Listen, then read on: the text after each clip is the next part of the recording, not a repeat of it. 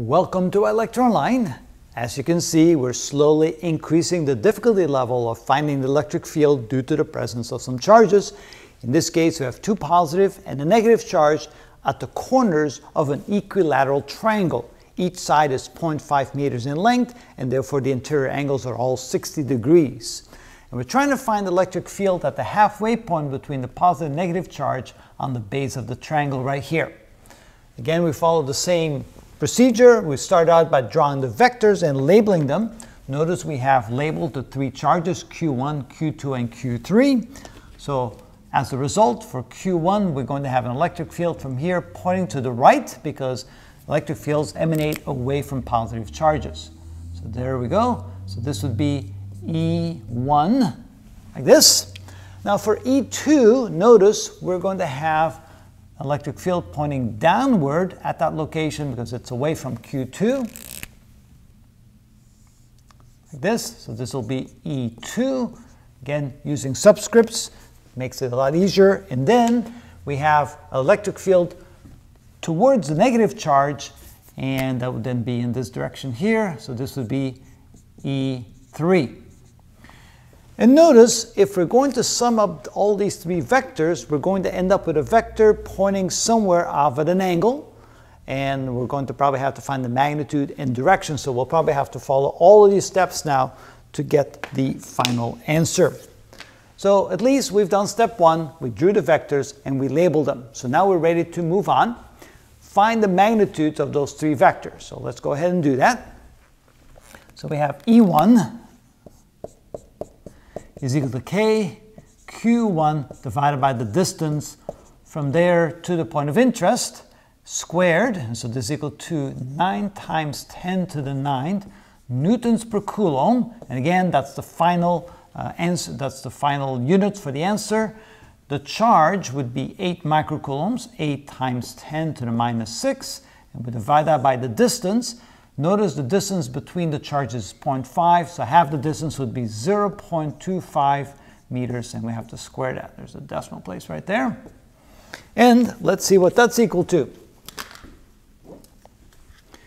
So we have 9e to the 9th times 8e to the 6 minus divided by 0.25 squared equals, and let's see here, wow, that's a big number, 1,152,000. That would be 1,152,000 newtons per coulomb. Okay, how about E2? E2 is equal to K Q2 divided by R2 squared, so this is equal to 9 times 10 to the 9th newtons per coulomb times 3 times 10 to the minus 6 and divide by the distance. Now we need this vertical distance right here. If this is 60 degrees, then this here is 30 degrees. And notice that this is the opposite side. So if we call this distance x, for this, so we'll just call that x, we'll call that x. We don't want the distance. So we know that the sine of 30 degrees is equal to the ratio of the opposite side divided by the hypotenuse.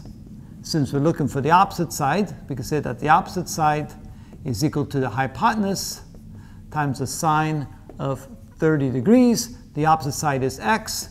The hypotenuse is 0.5 meters, and the sine of 30 is 1 half. So this is equal to 0.25 meters. Hmm, does that make sense? Something doesn't seem right. Oh, I'm not looking for the opposite side. I'm looking for the adjacent side. I'm looking for this distance right here. So let's call this distance d. And so instead of doing that, I need the cosine. So I was looking for the wrong side. Well, that happens when you don't pay attention, and I was not paying attention. So let's try this again. So I'm looking for d. The distance d is going to be equal to the hypotenuse, 0.5 meters, multiplied times the cosine of 30 degrees. And so this is going to be equal to 0.5 times 30, take the cosine, equals, that's 0.433 meters. So 0.433 meters, that's the distance, and that's what goes in here, 0.433, and we have to square that. So now we're ready to calculate the strength of the electric field. So let's see, we square that, take the inverse of that, times 9e to the 9th, times 3e to the 6 minus equals, and that's 144,000 newtons, 144,000 newtons per coulomb. And now we find E3. So it's equal to K Q3 divided by R3 squared, which again is 9 times 10 to the 9th newtons per coulomb, times 5 times 10 to the minus 6. And again, we don't use the negative sign because we're simply using, uh, looking for the magnitude. And then divide, again, that would be 0.25 quantity squared. So 9e to the 9th times 5e to the 6 minus divided by 0.25 squared equals, that's 720,000. That would be equal to 720 thousand newtons per coulomb. All right, so now we've done step two. You can see as things get more complicated, they take a little bit more time. So now we have the magnitudes, now we want to find the x and y components. Well, there we don't have to do that because all the components are either in the x direction or the y direction. So that makes that at least a little bit easier. Don't have to do step three. Now we're ready to go to step four. We're going to add all the x components and all the y components together. So to find the electric field, that is going to be equal to, first let's add all the x components together, which is E1 and E3, both pointing to the right. That would be a positive E1 plus a positive E3 and in the positive x direction. Now we add up all the y components. There's only one. It's pointing in the negative direction. So it would be uh, plus a negative E2 in the y direction. So that'll give us a negative y direction. So now let's go ahead and that, add that up. E1, 1,152,000 newtons per coulomb, plus E3, which is 720,000 newtons per coulomb, all in the x direction, minus E2, which is 144,000 newtons per coulomb in the y direction. And so this would be the answer if we want this in vector format. And so sometimes they say, that's good enough. Oh, well, we're not quite there yet. We need to combine them. Well, I'm hurting things up a little too much. Let me go one step further. E is equal to, add that together, that would be 1,872,000 newtons per coulomb in the x direction minus 144,000 newtons per coulomb in the y direction. All right, so that would be the final answer in vector format. But sometimes they don't want it in vector format. Sometimes they want it in magnitude and direction format. In other words, if you draw this final result, you can see that this would look something like this. So this would be E, and the, the angle relative to the x-axis, let's call that phi. And so what they want you to do then is find the magnitude of the resultant and the angle relative to some axis, and usually the positive x-axis. So let's go ahead and do that. So the magnitude of E